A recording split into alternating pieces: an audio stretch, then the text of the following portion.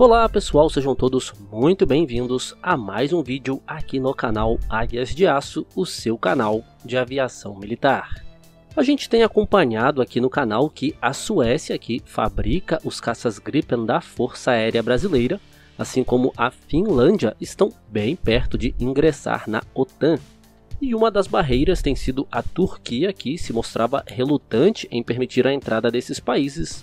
E como a gente viu aqui, Todos os membros devem concordar para que possa ser efetivada a entrada de outros membros na aliança.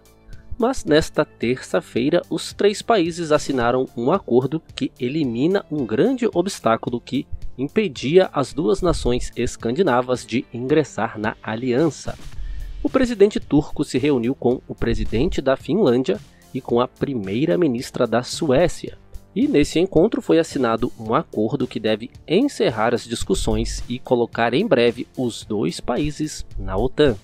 O bloqueio inicial dado pela Turquia se deu pelo apoio da Suécia e da Finlândia às organizações curdas que a Turquia há muito considera uma ameaça.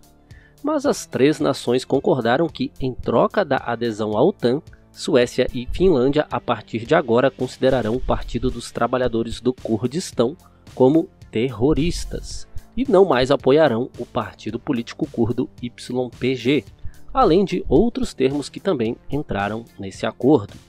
Agora isso abre caminho para uma votação de toda a aliança, mas a princípio não há mais contrariedades por nenhum dos membros e nem mesmo dos Estados Unidos, que na verdade até vem apoiando essa adesão. A Rússia vem se mostrando contrária a isso e até tem feito algumas ameaças e após o anúncio desse acordo, o vice-presidente do Comitê de Relações Exteriores da Rússia, Andrei Klimov, afirmou que, abre aspas, a Rússia é uma potência tão poderosa em um sentido estratégico global que esta decisão não importa. A velocidade com que a Finlândia e a Suécia estão se tornando alvos deve preocupá-los. Fecha aspas. Então, mais uma ameaça aí vinda da Rússia que sempre se mostra contrária a essa adesão. Esse acordo diplomático deve influenciar também no mercado de jatos de combate. A gente viu aqui no canal que a Turquia foi expulsa do programa F-35 por conta da aquisição de sistemas antiaéreos S-400 de origem russa.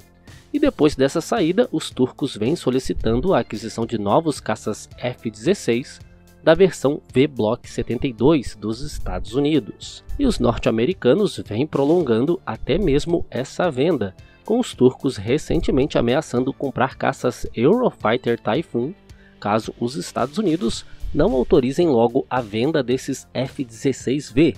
E isso também deve representar uma mudança significativa para a Suécia, que desde antes da Segunda Guerra Mundial tem mantido uma posição mais neutra até desenvolvendo uma indústria aeronáutica própria, com jatos como o Gripen, e essa entrada na aliança certamente vai abrir mercado para fabricantes Saab e pode significar vendas do Gripen a países da OTAN.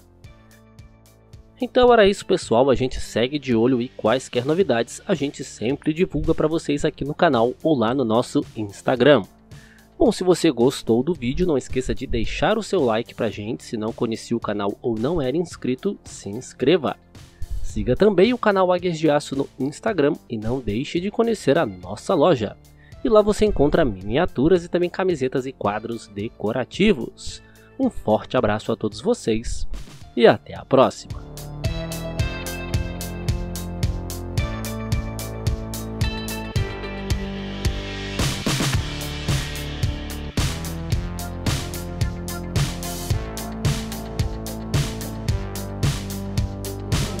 Lộ